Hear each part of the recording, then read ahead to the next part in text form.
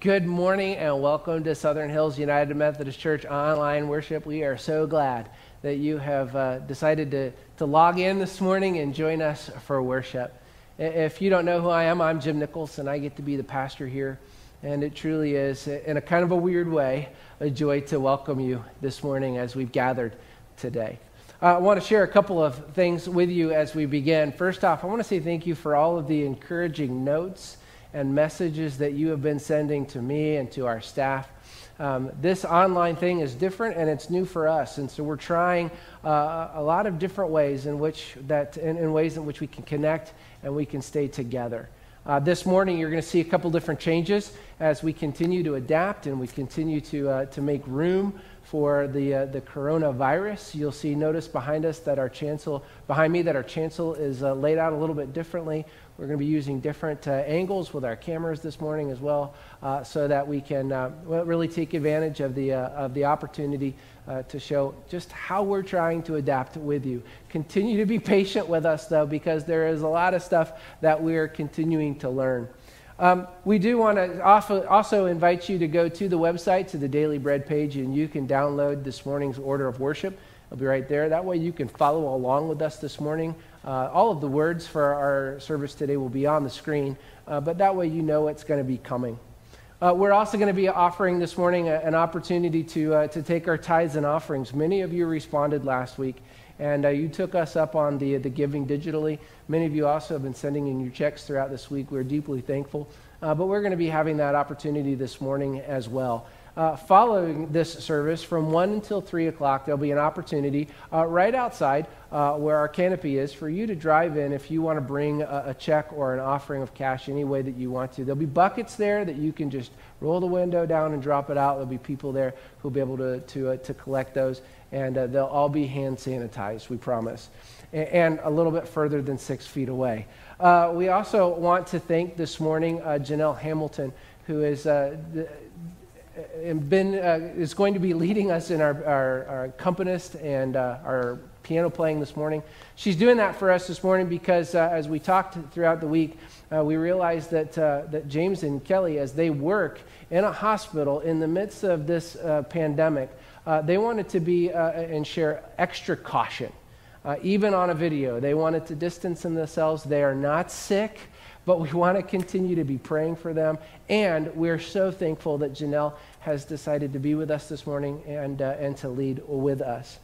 Um, finally, one thing that we're excited to share with you is we're going to be working and sharing uh, online in the, in the days to come an opportunity for us during Holy Week. It's right around the corner to be able to come into the sanctuary in small groups. There'll be a sign up sheet for you to do that, to come and to take communion to take that opportunity to, uh, to spend this Holy Week and begin this Holy Week and season uh, in, the right way uh, around the Lord's table. So we'll be doing that uh, as safely as we can. We'll have a sign up sheet, and you'll see more about that coming in our emails and on the website. So, again, friends, thanks for being with us this morning. Let's worship the Lord with all of our heart, with all of our soul, and with all of our might. Amen. Amen.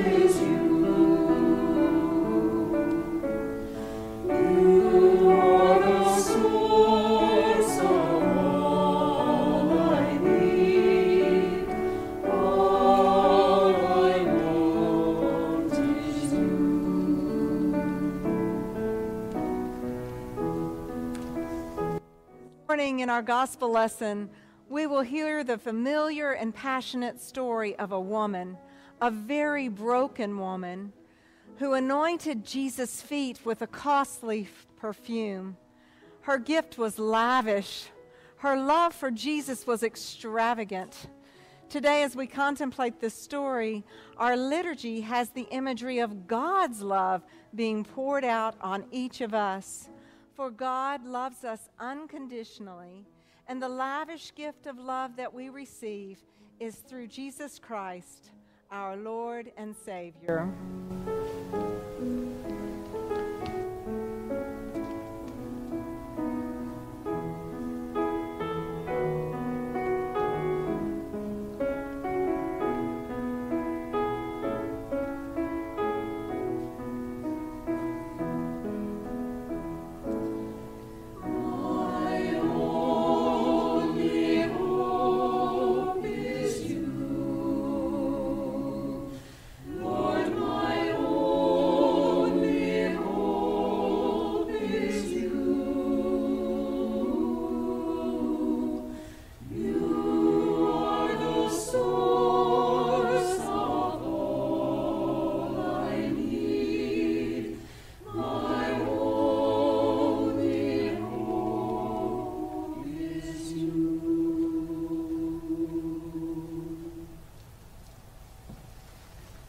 Invited to stand as you are able, right where you are, for our call to worship and opening hymn. God's love is extravagant, for God has given us the gift of Christ Jesus. Through Jesus, God pours out love as a cleansing lotion for our weary souls. God's love is healing. God's healing balm soothes and comforts us. God's love is generous. God continually reaches out for us and helps us throughout all our lives. Thanks be to God for such extravagant, healing, and generous love.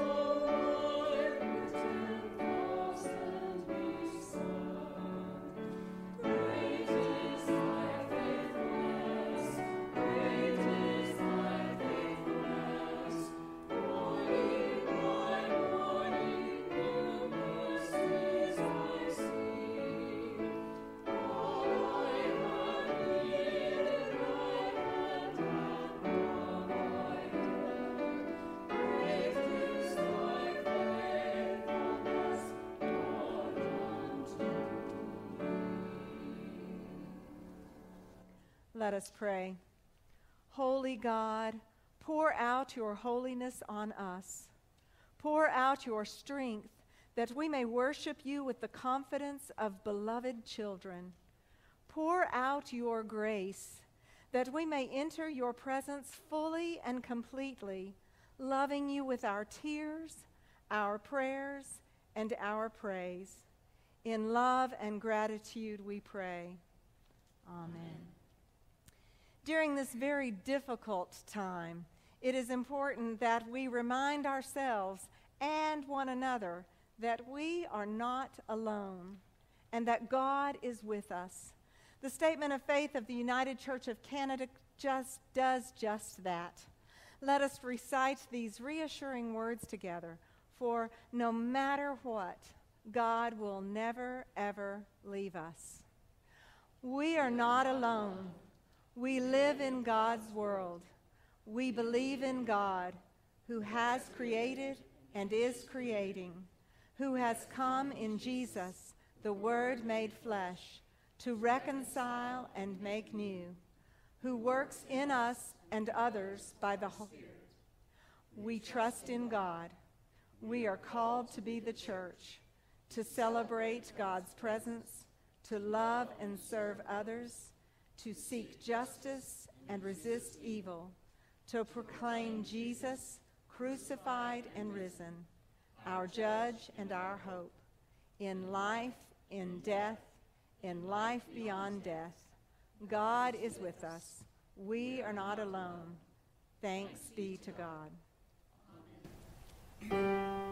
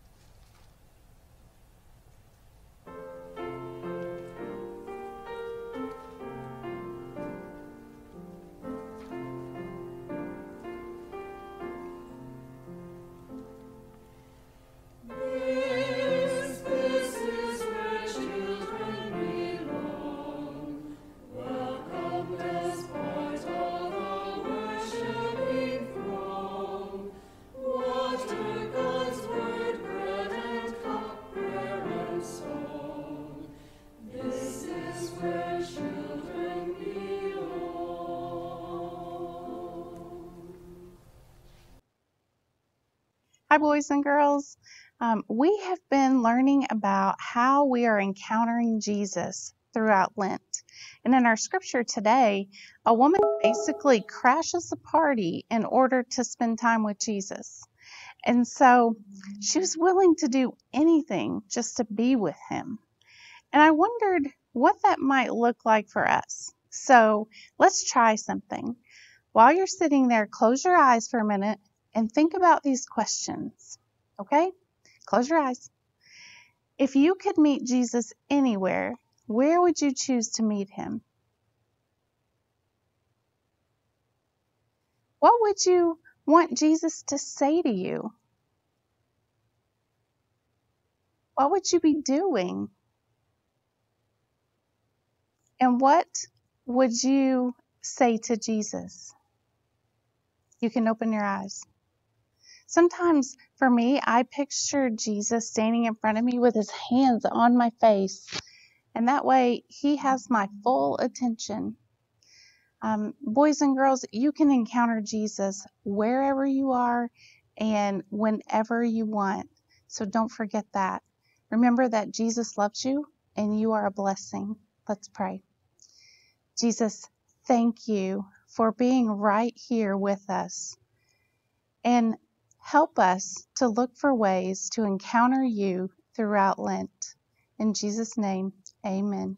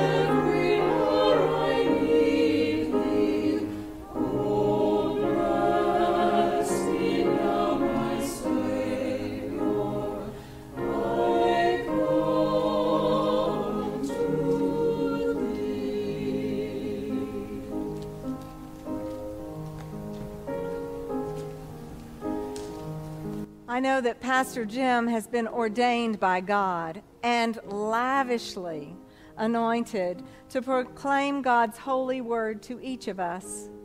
As we anticipate a holy encounter, we must first let go of the things that keep us from truly hearing what God has in store for us as we worship. Therefore, let us offer our confession. Let us pray. Welcome us, gracious God, as Jesus welcomes sinners and saints alike. Forgive the wrongs we have done and the acts of mercy we have left undone. Bless us with your mercy and grace, especially when we feel friendless and beaten down. Reassure us of your love, especially when we feel most alone and most undeserving. Welcome us into your holy presence with forgiving grace and faithful love that never ends. Just like the woman who knelt at Jesus' feet with tears flowing, we too must offer our private confession to God and God alone. In the sacred space, in this sacred time, let us do just that.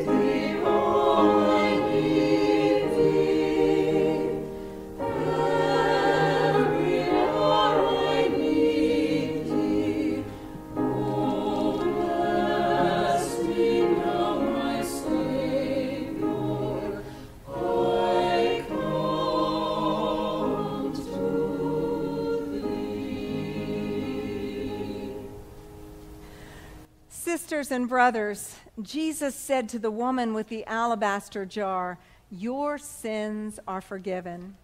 Hear his words for yourselves and take them into your heart and soul.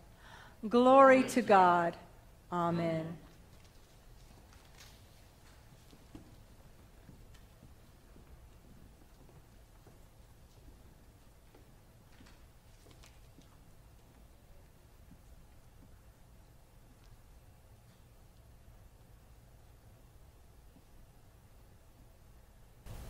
trusting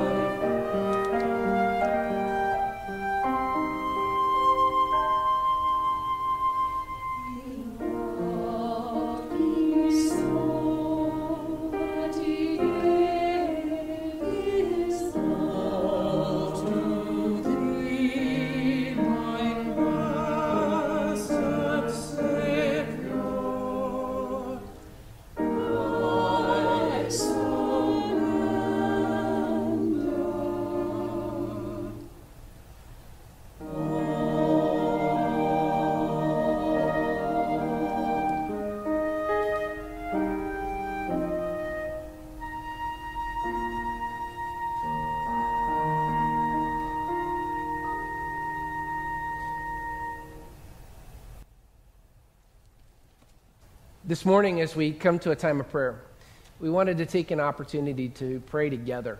We wanted to take an opportunity to, uh, to respond uh, liturgically, um, but uh, as a family through this, uh, this season of pandemic that we are experiencing. And so you'll be invited to follow along with me in this responsive prayer.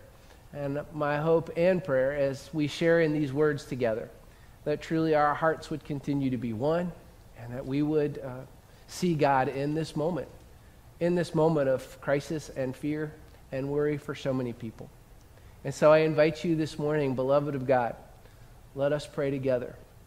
The Lord be with you. And with thy spirit. May we, who are merely inconvenienced, remember whose lives are at stake. May we who have no risk factors remember those most vulnerable. May we who have the luxury of working from home remember those who must choose between preserving their health or making their rent. May we who have the flexibility to care for our children when their schools close remember those who have no options. May we who have to cancel our trips remember those who have no safe place to go.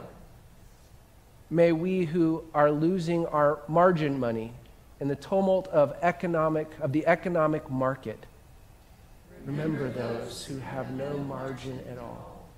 May we who settle in for a quarantine at home remember those who have no home. As fear grips our country, let us choose love. During this time when we cannot physically wrap our arms around each other, let us yet find ways to be the loving embrace of God to our neighbors. Amen.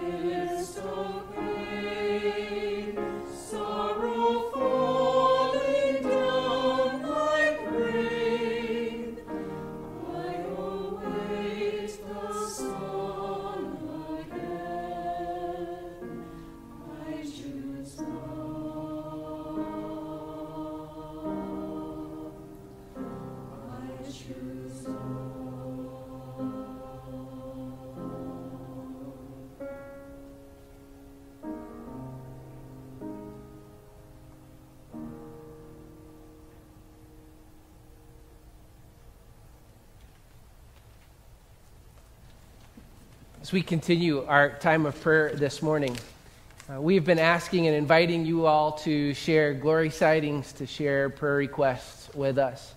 I'm so thankful that many of you have taken us up on these opportunities. We have received a, a bunch of emails and Facebook messages and phone calls and even a few text messages of prayer that uh, invite us to continue to be this family together as we pray. I want to share just a couple of the glory sightings that we have received just in the last few days with us. Uh, we heard from, uh, from the Beck family that Ann and Emily have decided to take this time to begin a kind of a family household newspaper. And they're seeing great joy in this opportunity to share news with one another. Uh, we're also celebrating with Julie, her parents. Uh, their church celebrated their 200th anniversary uh, just in this last week and had a great uh, barn celebration uh, as best they could in this uh, weird time as they celebrated. We're also celebrating our children's team and our staff for Christina and Sean, for those who have been uh, providing opportunities for our kids and families to continue to stay in worship, to learn, and to grow. Uh, I'm celebrating the rest of our staff, those who are helping us uh, be in these moments, who are working so diligently and so, so hard to make sure that we have these to share with one another. Um, talking about our neighbors, we've had several people share with me just this week about how they're having conversations, safe conversations uh, with those who are around them and, and hearing each other's stories and waving and all of a sudden finding a little bit more closeness uh, with those who just live in, next door. We're seeing God uh, in, in community bear hunts. If you don't know what that is, look for those teddy bears in the windows of your neighborhoods but also, we're seeing God in chalk drawings on sidewalks as people go out and enjoy the beautiful weather that we've had the last several days. But as we celebrate these moments, we also are drawn to offer prayer requests, hope encounters where we're looking for God to be at work. We're continuing to pray for Dean and Ruth Midbow's daughter in law, Patty, who began uh, her treatment with chemo this week. She had a good week, but asks for continued prayer. Mary Davis Dickens called in this week and had some family friends uh, who passed away. And uh, she's sad, and those around them are sad. And so we would lift up encouragement. A friend of mine uh, this week, uh, Susie Nally, husband Joe, passed away uh, just a few days ago. We want to continue to pray for all of our healthcare workers, not just the ones who are part of our family, certainly those, but also those uh, who are giving of themselves over and over and over again uh, to put themselves in harm's way, uh, to help us flatten the curve quickly, to bring people back to health and wholeness. We do want to continue to lift up our leaders as well, our governor, um, our, our president, those around who are uh, doing the best they can with the information they've got. We want to lift them up unto the Lord.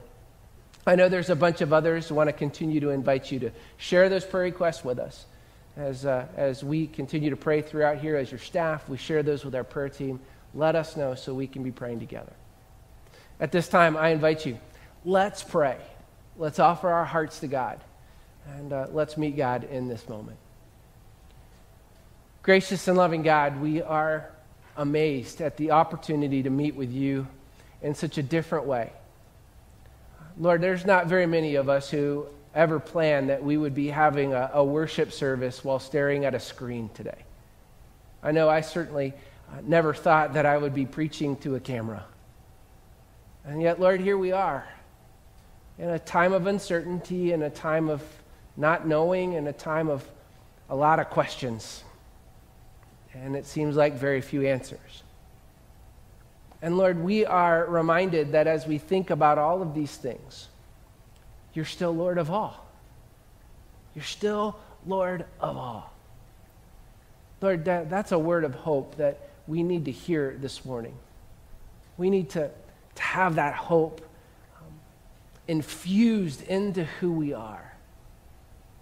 Lord, we want to be carriers of that hope into a world that is stuck, to our neighborhoods where there is fear where our family and friends and we're distant, where we can't touch and be with those that we love, where we can't gather on a Sunday morning in a place where many of us have gathered for years. Lord, we, we need that hope. And so, Lord, this morning we ask that you would come and you would anoint us, your people, wherever we are, however we are tuning in this morning to be together, we ask that you would anoint us in your grace and your love and your mercy and with hope. Lord, we thank you for the ways in which you are moving. We want to see more of it, God. So continue to move and continue to use us, hands and feet of the body of Christ. Lord, thank you for this time of worship. Use it. Draw us all closer to your heart.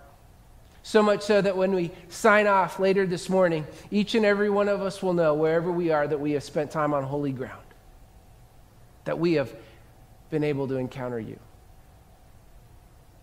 Lord, we pray all of this in the name of our Lord and Savior Jesus, our King, our Master, the one who has no fear and we do so joining together our voices now, praying as he taught us so long ago, saying, Our Father, who art in heaven, hallowed be thy name.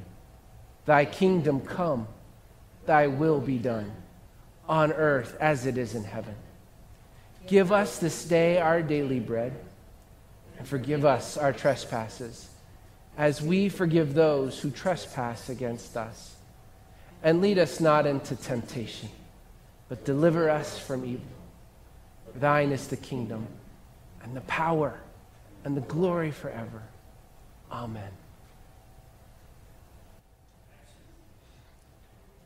Our scripture passage this morning comes to us from Luke's Gospel, the seventh chapter, verses 36 through 50. We're spending time this Lent, Lenten season in this Gospel, uh, looking for ways in which Jesus has encountered those around him and then how we, uh, hopefully, can encounter him.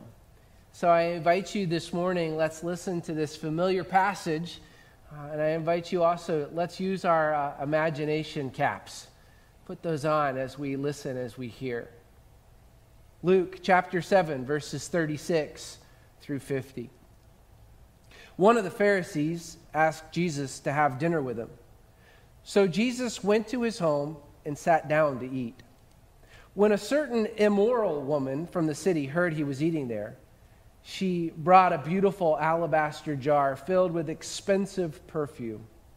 Then she knelt behind him at his feet weeping. Her tears fell on his feet, and she wiped them off with her hair. Then she kept kissing his feet and putting perfume on them. When the Pharisee who had invited him saw this, he said to himself, If this man were a prophet, he would know what kind of woman is touching him. She's a sinner. Then Jesus answered his thoughts. Simon, he said to the Pharisee, I have something to say to you. Go ahead, teacher, Simon replied. Then Jesus told him this story. A man loaned money to two people, 500 pieces of silver to one and 50 pieces to the other. But neither of them could repay him, so he kindly forgave them both, canceling their debts. Who do you suppose loved him more after that? Simon answered, I suppose the one for whom he canceled the larger debt. That's right, Jesus said. Then he turned to the woman and said to Simon, Look at this woman kneeling here. When I entered your home, you didn't offer me water to wash the dust from my feet, but she has washed them with her tears and wiped them with her hair. You didn't greet me with a kiss, but from the time I first came in, she has not stopped kissing my feet. You neglected the courtesy of olive oil to anoint my head, but she has anointed my feet with a rare perfume. I tell you, her sins, and they are many, have been forgiven. So she has shown me much love. But a person who is forgiven little shows only little love. Then Jesus said to the woman, Your sins are forgiven. The men at the table said among themselves, Who is this man? he goes around forgiving sins. And Jesus said to the woman, Your faith has saved you. Go in peace. Friends, this is the word of God for the people of God. Thanks be to God. I have to tell you, I absolutely love this passage. It just it crashes my soul and it grabs my imagination. Like when, when I was a kid and all of my make believe stories came true on the playground. The swing set in my backyard became a castle, an aircraft carrier, a mountain, a hideout. The grapefruit tree in the back corner of that yard, it wasn't just for fruit, it was where Robin Hood and Little John planned their next attack on the rotten sheriff of Nottingham where elves and dwarves hid from orcs and evil kings. So, my grandmother was a kindergarten teacher, and she would let me be her teacher's assistant whenever school was off. She would uh, sit with her kids and she would introduce new letters, and I'd watch the kids go wide eyed as a new inflatable person was revealed. She'd say things like, Let's put our imagination caps on. And then they would transport into the world of Mr. T, T, T, Tall Teeth T, or Miss Ah Ah Ah Chu A. Putting on my cap, never a problem. The passage that we read a second ago is one that begs us to use our imagination. It calls us to leave behind adulthood and the boring worries that seem to increase as, well, at least as I get older. It wants to be seen, it, not just read. It's a, it's a story about a good guy, a bad girl, a hero, and a switch that nobody saw coming. Before we get to that story, though, I want to explore some of the people of Jesus' day.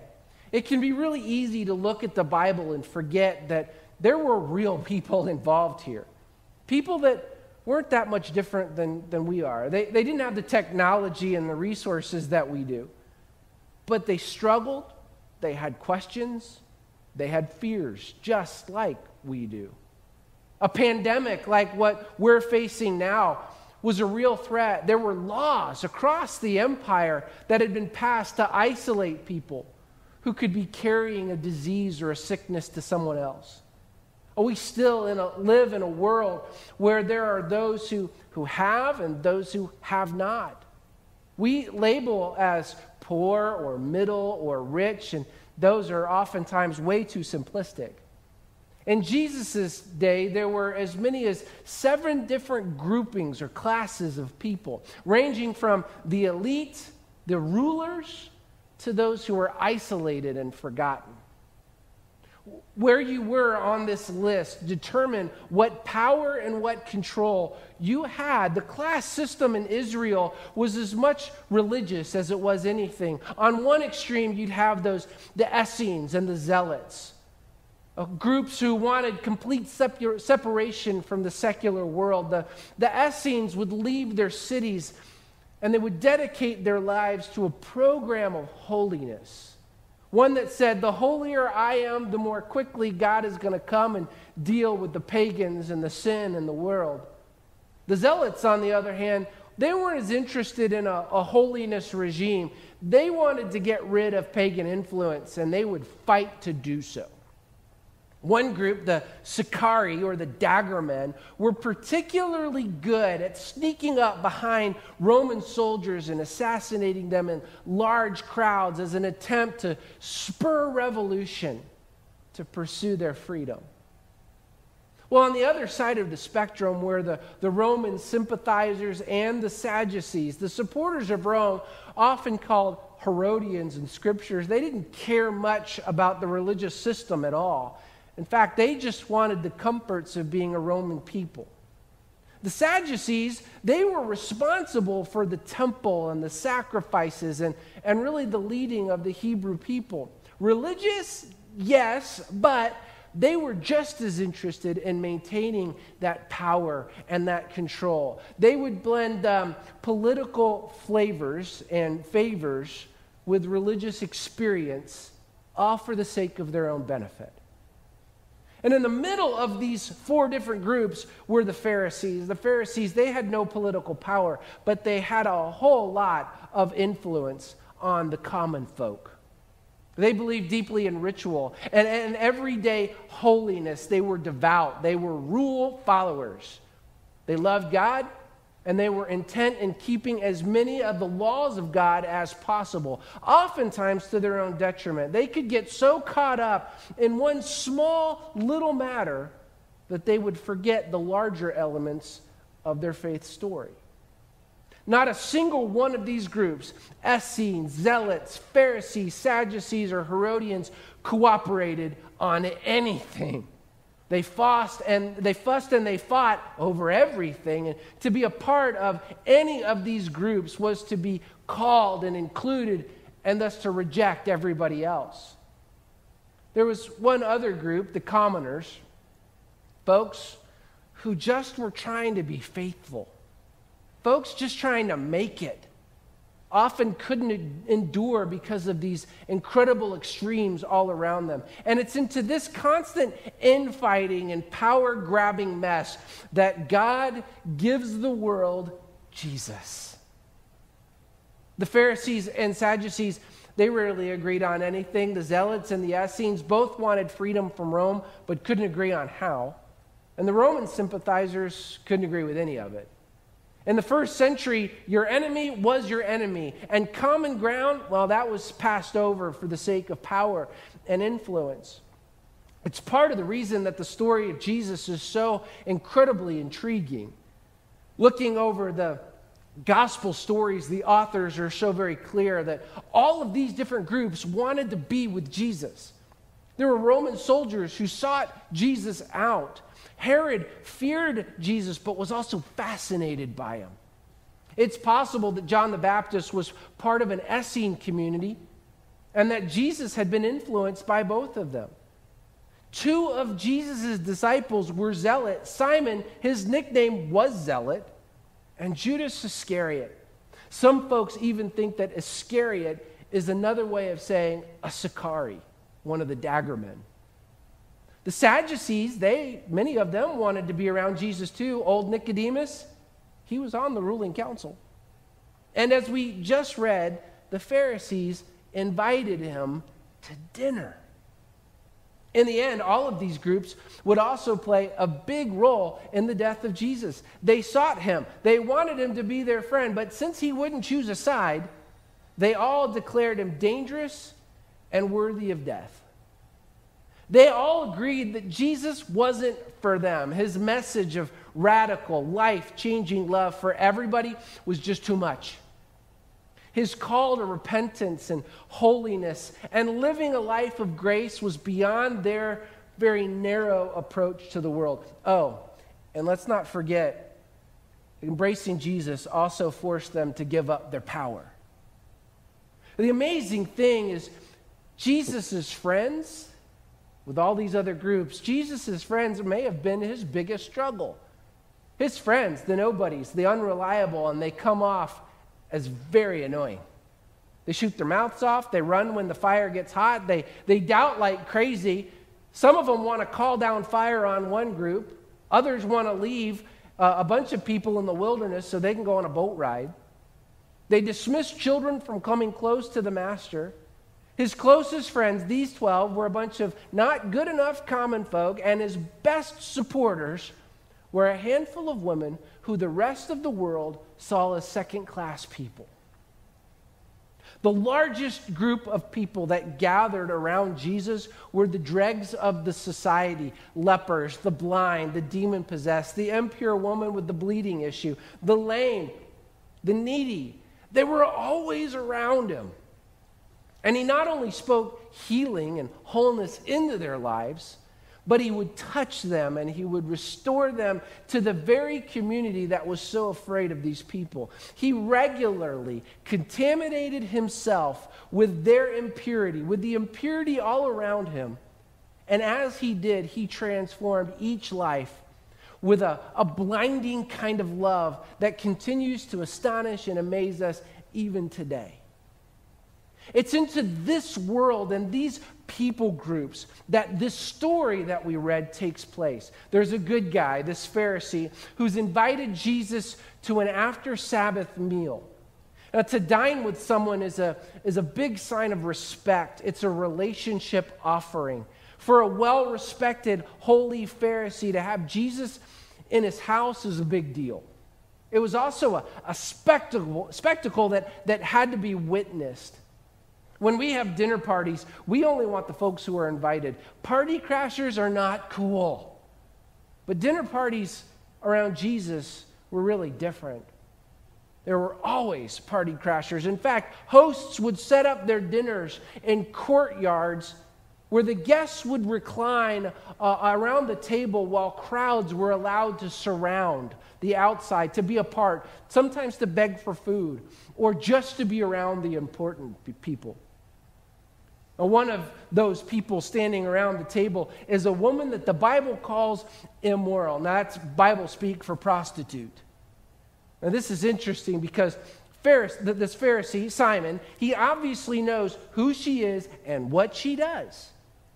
And because of the social structure thing, a Pharisee, he could open his home to beggars and others wanting to witness the special guest. but never to an immoral woman. Of course, she probably wouldn't have wanted to be in a Pharisee's house anyway, and yet here she is. And what she does is scandalous beyond words. The table is U shaped, so you don't sit at it, you recline with your feet pointing away from the food. You'd lean on your left arm and you would eat with your right. This woman in the middle of the meal leans down to Jesus' bare feet and she begins to weep, her tears flowing. She has a jar of perfume and she begins to pour it out on him. She has no towel, so she lets down her hair, something that only a married woman would do in the privacy of her own home. And she uses her hair to dry his feet. Have you ever been in a space and things got weird and you didn't know what to say or do next? This is that moment. But Simon, he knows exactly what to do.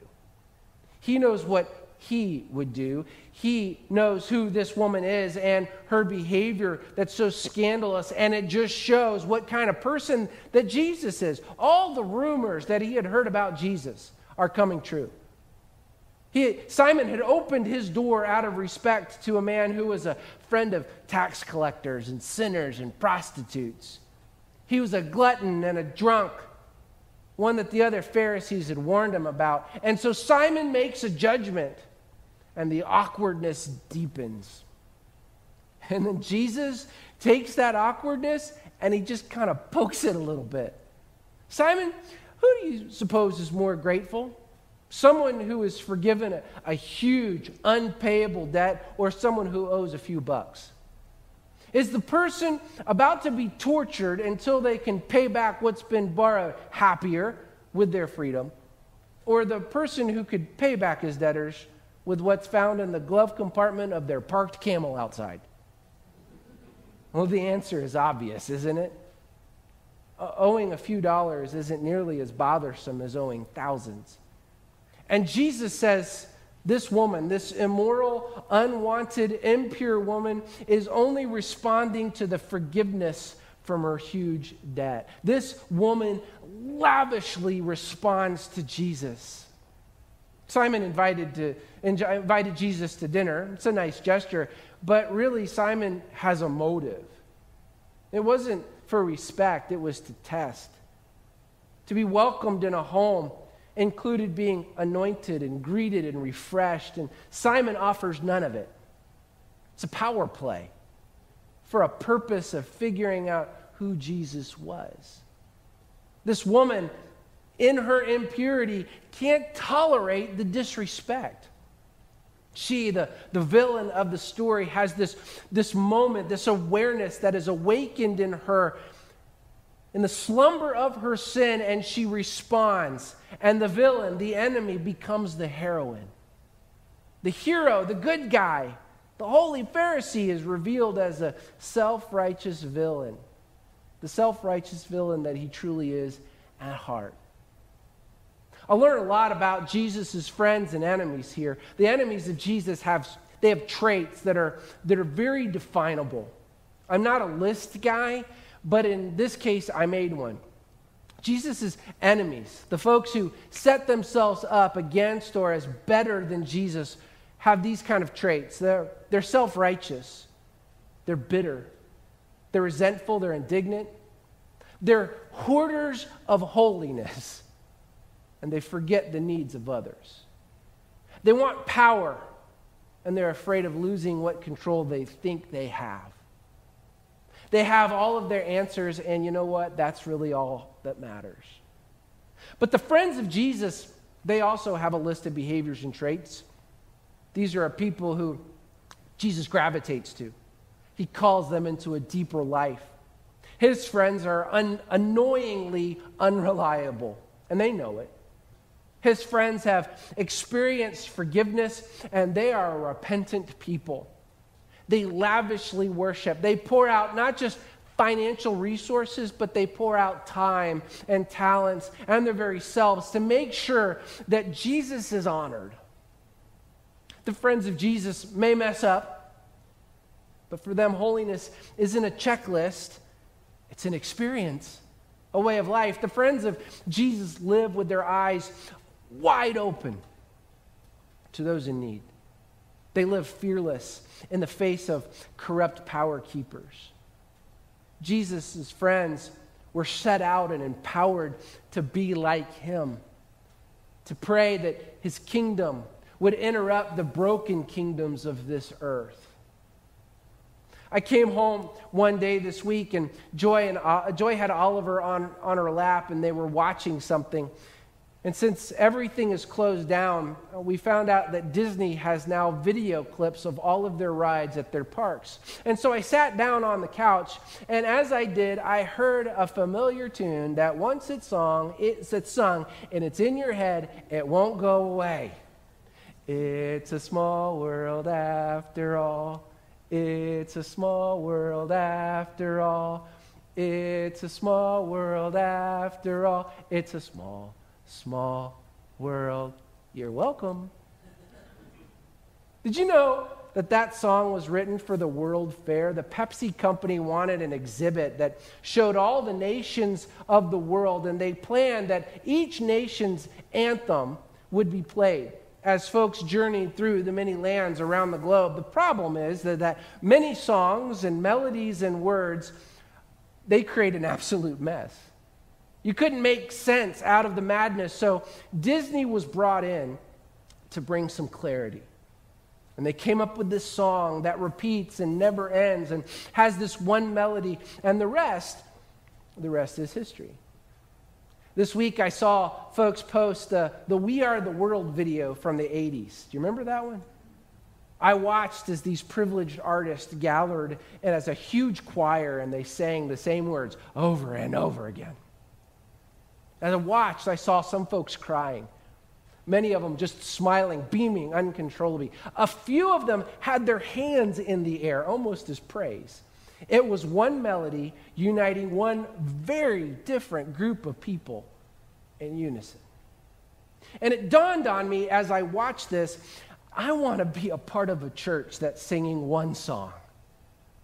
One song that bridges our divides, not a thousand songs that's really just a loud racket of unrelated words and melodies. I want to be a part of a church where Jesus is lavishly worshiped, where my self righteousness, it's allowed to, to step aside and I'm still invited to the table. I want to be a friend of Jesus, and I want to be a friend who lives differently because I know that I have been forgiven much. There have been a lot of calls this week for prayers from the, for the Church of Jesus, calls to pray in unity the Lord's Prayer at a certain time, calls to ring our church bells, calls to join in fasting and praying for healing. I'm going to tell you, I'm in for all of them. But I'm also praying that this is going to be a time when the church might begin to sing with one voice the song of Jesus again that we might reject our own self righteousness and our bitter and our anger at those who are different from us, that we might humble ourselves and realize just how much we've been forgiven, that we might reject polarizing classes and choose to lavishly respond to his love. I'm praying for, for the healing and an end to this pandemic, but I'm also praying for a repentant revival to sweep our church. I'm praying we won't be worried about the little groups that we come from, but we'll be more concerned with responding at the feet of Jesus. I'm praying that the church of Jesus will be a whole lot more than just a social dinner party, but we will be a body of folks consumed with God's beauty, goodness, and truth. I'm praying that we're going to encounter him and we'll be empowered by him to be part of the healing of this small, small world. I guess the question for us this morning is what do you want from your church? What do you want our dinner party to look like? In the season of shutdown, with so much downtime, why not take some time and be still and see what kind of friend you and I are. Are, are we making a lot of noise with our ideas and our rightness? Or are we singing a song that the rest of the world is longing to hear? Brother and sister, you and I have been invited to be his friend. You, by the power of the Spirit of the living God, are called to be a part of the beautiful, scandalous kingdom. So, lavishly worship this week. Pray to be empowered by the anointing and healing of Jesus. And let's make that manifest to those around us. I invite you to pray with me. Lord, we thank you for this story. And we thank you for the opportunity to enter into it with our imagination. We thank you that you've showed us what a friend looks like. And we ask, Lord, in these days of, uh, again, so much uncertainty and questions, that we, well, we would find ways to be your friend. Lord, if that's a, a need for repentance on our part, Lord, help us quickly get there and help us also to remember whenever there's repentance, there's a big giant party afterwards. Lord, where we've, uh, we've settled into a routine or a way of things that have to be, shake us up. Help us see. Help us realize that the, the borders, the walls of your body wow, they are probably a whole lot wider than what we think. Holy Spirit, fall fresh on us, your kids. Empower us, equip us, and let us show your love to the world. We pray all of this in the name of Father, Son, and Holy Spirit. And all God's people said, Amen. As we respond to the word this morning, uh, we continue to give of our offerings, our tithes, that which belongs to God. I want to say thank you to those of you who've continued to support and to, uh, to send in uh, those gifts to the church. Um, we really appreciate it. Uh, on the bottom of your screen here in just a minute, there's going to be that link. You can go to the website, you can continue to give. There's also going to be an opportunity uh, this afternoon from 1 till 3 where a couple of us are going to be standing just outside here at the church with a bucket that if you want to drop your offering off, you can. But I invite you, wherever you are, let's respond to the Lord this morning as Bob sings and as we continue in worship.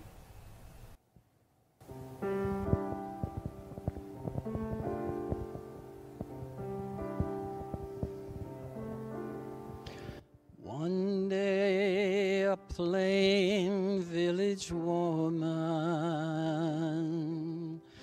driven by love for her Lord, recklessly poured out a valuable essence disregarding the scorn and once it was broken and spilled out, a fragrance filled all the room. Like a prisoner set free from his shackles, like a spirit set free from the tomb, broken and spilled out, just for love of you, Jesus, my own precious treasure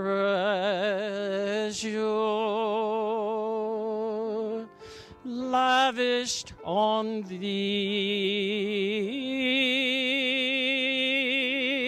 broken and spilled out, and poured at your feet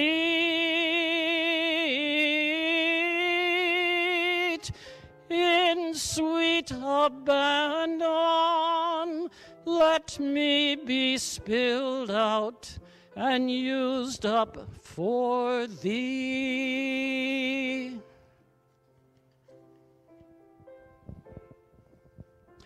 Lord, you were God's precious treasure.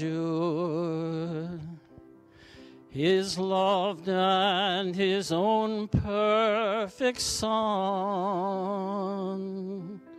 sent here to show me the love of the Father.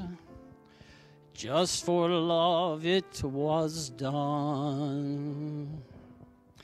And though you were perfect and holy, you gave up yourself willingly, and you spared no expense for my pardon. You were used up and wasted for me broken and spilled out just for love of you, Jesus, my own precious treasure,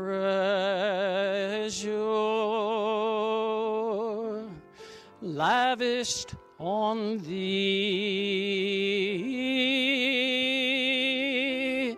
Broken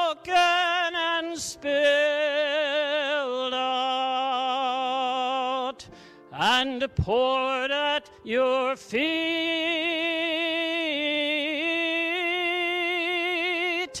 in sweet abandon. Let me be spilled out and used up for thee.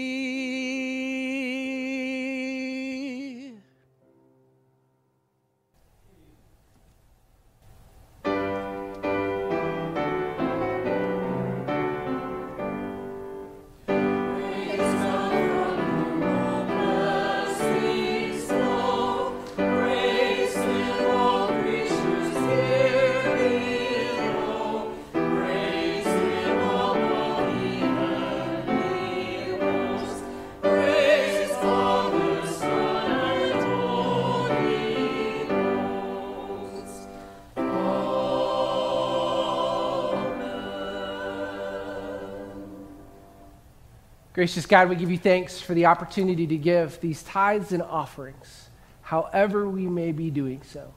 We ask that you would use them for the sake of your kingdom. That someone this week, well, they might know the lavish love of God because of our faithfulness this morning. We love you, Lord, and we offer these to you um, as a, a gift of love ourselves. We honor you, we praise you, and we give you thanks. For it is in the name of the Father, the Son, and the Holy Spirit. Amen. We're so thankful that you uh, joined us this morning. And so, as we continue, as we, or as we close this time of worship, uh, we do so with the singing of our closing, our closing hymn. It's number 399 in your hymns. Obviously, the words will be on the screen for you, so I invite you wherever you are. Let's stand up and let's sing together Take My Life and Let It Be.